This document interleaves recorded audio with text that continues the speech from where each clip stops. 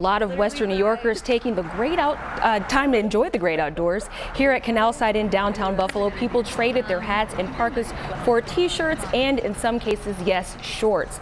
People out for a walk or even walking their pets. It's crazy to see this type of weather at this time of year. It should be snow and cold out here.